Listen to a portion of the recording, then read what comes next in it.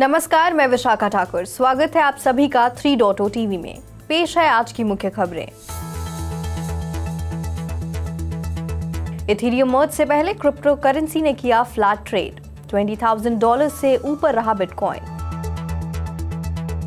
ED ने Chinese loan apps के साथ संबंध के मामले में कसा एक और क्रिप्टो फर्म पर शिकंजा।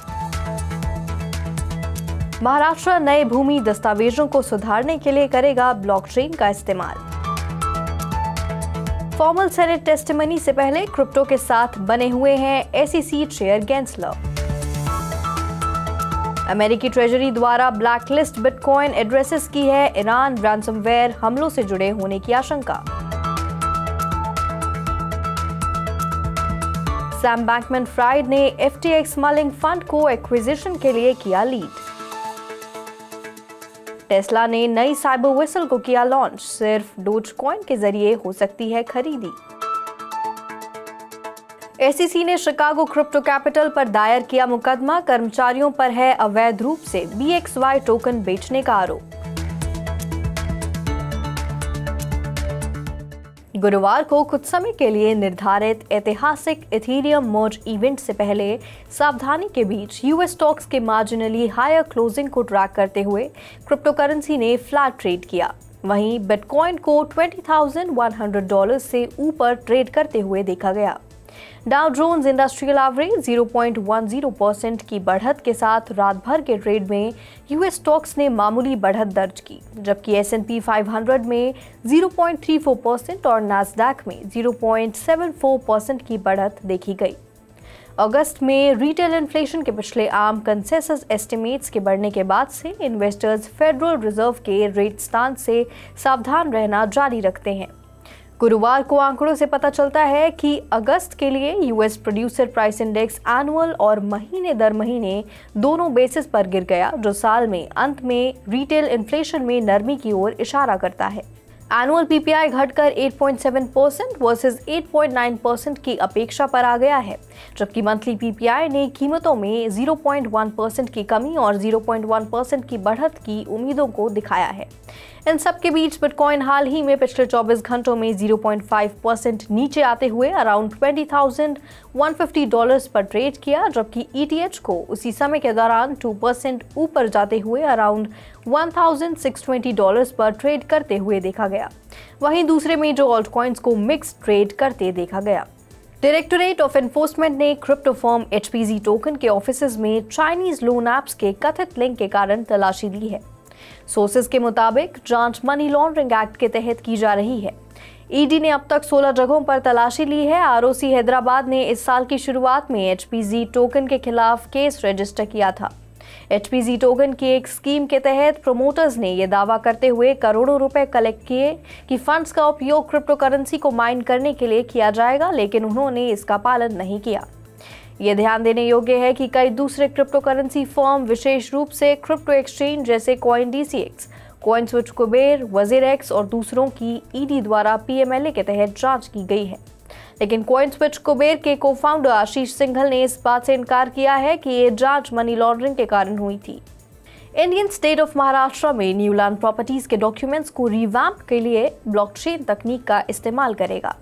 टेक्नोलॉजी का इस्तेमाल करने का उनका मेन मोटिव इंडस्ट्री पार्टिसिपेंट्स के बीच विश्वास बढ़ाना और धोखाधड़ी के मामलों को कम करना है। महाराष्ट्र के रजिस्ट्रेशन और टिकटिंग डिपार्टमेंट के इंस्पेक्टर जनरल श्रवण हार्दिकर ने एक कॉन्फ्रेंस में घोषणा की कि उन्होंने अपने क्षेत्र में प्रॉपर्टी रजिस्ट्रेशन के लिए डिस्ट्रीब्यूटेड लेजर टेक्नोलॉजी को अपनाना शुरू कर दिया है, जो उनके लिए मददगार हो सकता है। हार्दिकर ने कहा कि ब्लॉकचेन पायलट बैंक और दूसरे अलग अलग मॉडकेज कंपनीज़ के साथ शुरू हो चुका है, जिसमें कई फ़ेमस एसोसिएशन शामिल हैं। उन्होंने कहा कि इन ऑर्गेनाइजेशंस को ई रजिस्ट्रेशन डॉक्यूमेंट से अवगत करवाया जा रहा है, क्योंकि ऑनलाइन डॉक्यूमेंट्स में कोई मोहर या हस्ताक्षर नहीं होने के बारे में कई सवाल उठाए गए थे। यूनाइटेड स्टेट्स सिक्योरिटीज और एक्सचेंज कमीशन के चेयरमैन गैरी गेंसलर ने अपना रुख दोहराया कि ज़्यादातर क्रिप्टो करेंसी सिक्योरिटीज हैं और उन्हें कुछ कैपेसिटी में रेगुलेटर के साथ रजिस्टर होना चाहिए। रिपोर्टों में कहा गया है कि उनके कमेंट्स बैंकिंग हाउसिंग और अर्बन अफेयर्स की यूएस सेनेट कमेटी के पर्सनल अपियरेंस से पेश होने से पहले एक डॉक्यूमेंट का हिस्सा थी। गेंसलर ने कहा कि क्रिप्टो इंटरमीडियरीज को एसईसी और कमोडिटी फ्यूचर्स ट्रेडिंग कमीशन दोनों के साथ एक दिन रजिस्टर करने की आवश्यकता हो सकती है और पहले से ही डुअल रजिस्ट्रेंट्स हैं। द यूएस ट्रेजरी डिपार्टमेंट ने अपने साइबर रिलेटेड डेजिग्नेशन बकेट के तहत 14 सितंबर को अपनी ब्लैकलिस्ट में नौ व्यक्तियों और छह बिटकॉइन एड्रेसेस जोड़े हैं। एड्रेसेस विशेष रूप से दो लोगों, आमिर हुसैन निकाइन रवारी और अहमद खतीबी अगाधा से जुड़े थे, जिन पर ईरान के इस्लामिक रेवोल्यूशनरी गार्ड कॉप्स में काम करते हुए रैंसमवेयर के क्रिएशन और डिस्ट्रीब्यूशन में भाग लेने का आरोप है। ट्रेजरी ऑफिशियल्स की एक प्रेस रिलीज़ के अनुसार व्यक्ति एक हैकर समूह का हिस्सा है, जो रैंसमवेयर का इस्तेमाल हॉस्पिटल्स, ट्रांसपोर्टेशन कंपनीज़ और स्कूल्स को टारगेट करने के लिए करता है। जस्टिस डिपार्टमेंट ने दावा किया है कि व्यक्तियों ने सैकड़ों अमेरिकी व्यवसायों में सेंध लगाई और उनमें से कई में रैंसमवेयर फैलाए हैं, जिसमें अमेरिकन इंफ्रास्ट्रक्चर एंटिटीज भी शामिल थीं।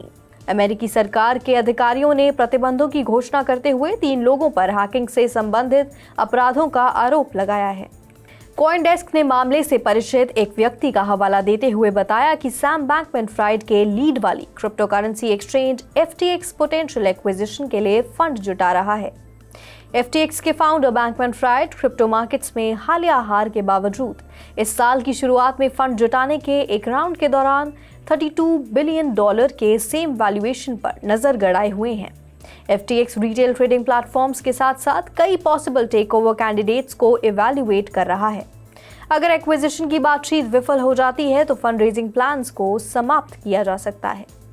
इलेक्ट्रॉनिक व्हीकल मैन्युफैक्चरर टेस्ला अपनी फ्यूचरिस्टिक साइबर ट्रक सीरीज़ से इंस्पायर होकर एक नई साइबर विसल पेश कर रही है। लिमिटेड एडिशन साइबर विसल एक प्रीमियम कलेक्टेबल है, जिसे पॉलिश्ड फिनिश के साथ मेडिकल ग्रेड स्टेनलेस स्टील से बनाया गया है। विसल में एडेड वर्सिटिलिटी के लिए इंटीग्रेटेड अटैचमेंट फीचर शामिल है। सभी सेल्स फाइनल हैं और प्रोडक्ट्स को चार से छः हफ्तों के अंदर शिप करने की उम्मीद है। उसके ऊपर टेस्ला को बायर्स को सिर्फ़ डोज कॉइन में पे करने की आवश्यकता है। प्राइस टैग 1000 डोज या लगभग 60 डॉलर्स है।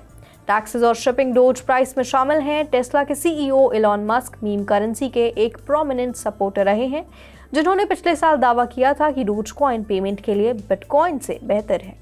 यूएस सिक्योरिटीज और एक्सचेंज कमीशन ने बुधवार को शिकागो बेस्ड एक क्रिप्टो इन्वेस्टमेंट्स कंपनी और तीन एम्प्लॉयज़ पर कथित तौर पर क्रिप्टो करेंसी में 1.5 मिलियन डॉलर्स बेचने के लिए मुकदमा दायर किया है, जो कि इन्वेस्टमेंट्स रेगुलेटर के साथ रजिस्टर नहीं थे। कंप्लेंट के अनुसार शिकागो क्रिप्टो कैपिटल के ओनर ब्रियान अमो और सेल्समैन डाकस ओलिवर यंग और एल्बर्ट एलियट ने 100 इन्वेस्टर्स को बी एक्स फाई टोकन नाम के क्रिप्टो बेचे, जिनमें से कई के पास कोई प्रायर क्रिप्टो एक्सपीरियंस नहीं था। कंप्लेंट में कहा गया है कि उन्होंने उन इन्वेस्टर्स को गुमराह किया कि वे टोकन को कैसे संभाल रहे हैं। एसईसी ने ग्रुप पर यूएस सिक्योरिटीज लॉ के वायलेशन में अनरजिस्टर्ड ब्रोकर्स और फ्रॉडस्टर्स के रूप में काम करने का आरोप लगाया है। दरअसल ये उन्हें क्रिप्टो सिक्योरिटीज की ऑफरिंग से रोकना चाहता था। आज के लिए फ़िलहाल इतना ही। मैं विशाखा आपसे फिर मिलूँगी ऐसी ही ताज़ा अपडेट्स के साथ। तब तक के लिए देखते रहिए थ्री डॉट ओ टीवी